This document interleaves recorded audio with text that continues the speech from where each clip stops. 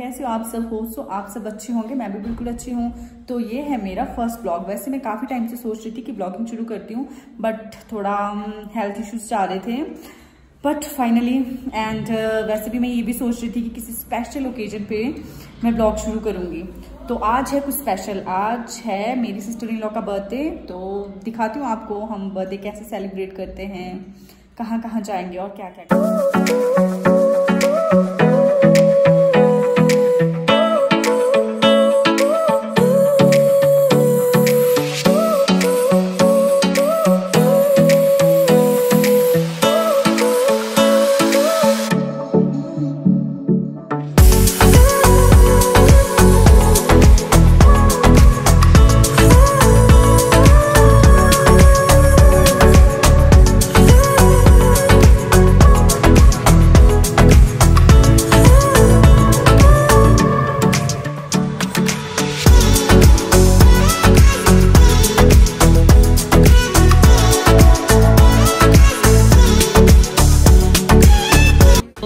Ice cream खाने के बाद हम निकल पड़े थे केक लेने के लिए बट वो भी हमें दो से तीन शॉप्स में जाना पड़ा, क्योंकि जिस फ्लेवर का हमें चाहिए था वो नहीं मिल पा रहा था बट लास्ट में हमें मिल गया था। वो भी अलग अलग शॉप से अलग अलग केक लेने पड़े तो। तो केक लेने के बाद हम निकल पड़े सीधे घर के लिए। गुड इवनिंग तो मैं पहुँच गई हूँ अपने घर पे।